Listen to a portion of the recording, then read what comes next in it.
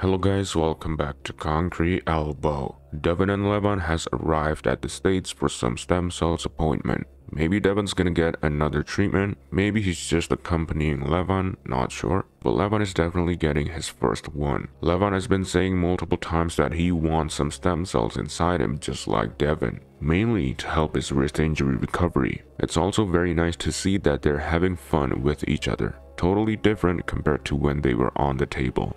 Good choice. Hey, Levan, while I got you, percentage chance. Denis versus me. Yeah. Me. E easy, right? Yeah. You look huge. Yeah, massive, massive. Yeah. November 11th, Denis the Plank off. It's. Cool story.